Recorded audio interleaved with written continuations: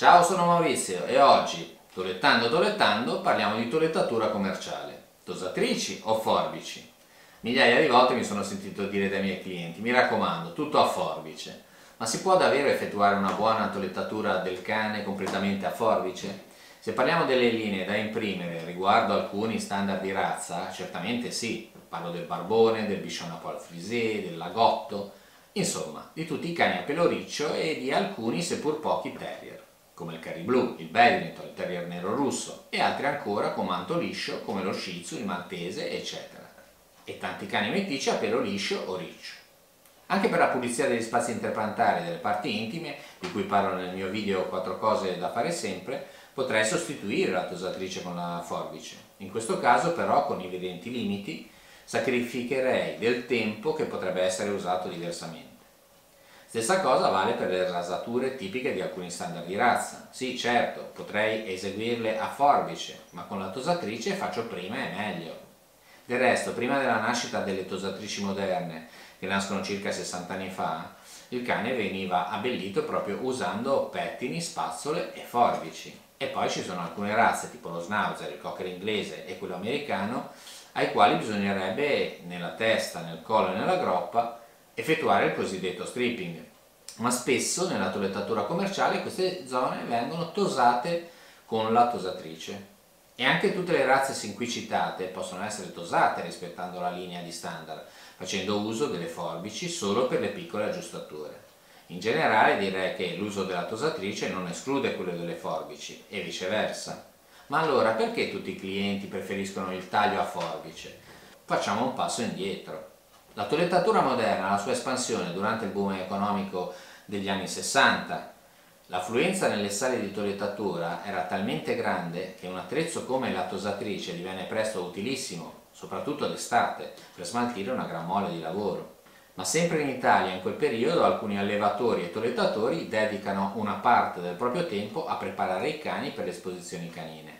Nelle esposizioni bisognava portare soggetti con toilettature impeccabili, che esaltassero lo standard di razza. La maggior parte di quelle toilettature venivano eseguite con le forbici. Da qui nell'immaginario collettivo si fissa la sensazione che il taglio a forbice sia più pregiato del taglio con la tosatrice. Ma al di là di come nacque questo pensiero, che perdura sino ad oggi, qualcosa di vero lo possiamo tracciare in questi punti. Il taglio a forbice è sicuramente più plastico, più performante, più creativo, stressa molto di meno il pelo perché il passaggio della tosatrice sul manto avviene con lame che si muovono centinaia di volte al minuto, spesso riscaldandosi. E poi il limite della tosatrice sta nel fatto che le lame, anche usando rialzi, non arrivano a superare 25 mm di altezza. Per cui tutte le volte che i nostri clienti ci chiedono una spuntatina su un manto che per esempio è di 6-7 cm ci sarebbe impossibile farlo con la tosatrice L'unica eccezione, vista tanti anni fa a uno stage, è quella dell'uso della lama 40, è una lama da 0,25 mm, in cui il tolettatore operava a mano libera sul manto di uno spitz, che per la verità sarebbe meglio non tagliare. Tornando però tra noi comuni mortali, aggiungo che l'uso protratto nel tempo della tosatrice genera più in fretta delle forbici il processo di schiarimento del manto, generando una minore vividezza appiattimento, ingrigimento dei colori.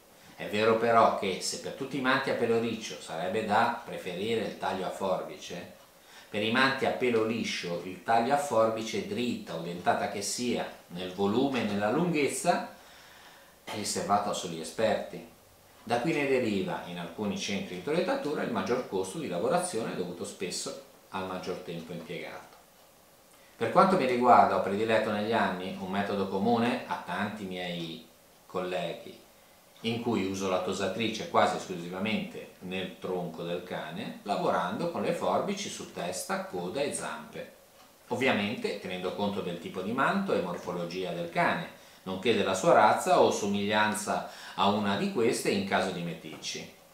In particolare soggetti, vuoi per le condizioni del manto infeltrito o per eseguire un preciso standard di razza, eseguo la toilettatura totalmente a forbice, che non vi nascondo di amare assai di più che quella mista o quella interamente fatta con la tosatrice. Nei prossimi video andremo a vedere i particolari di ogni toilettatura, eseguendo lo schema di piccoli episodi in cui affronterò tematiche specifiche per tipo di soggetto o parte di esso. Per esempio, il barbone, la testa, la coda, le zampe, il tronco, le rasature, eccetera. Ricorda, iscriviti al mio canale e attiva la campanella per non perderti i prossimi video. Ciao!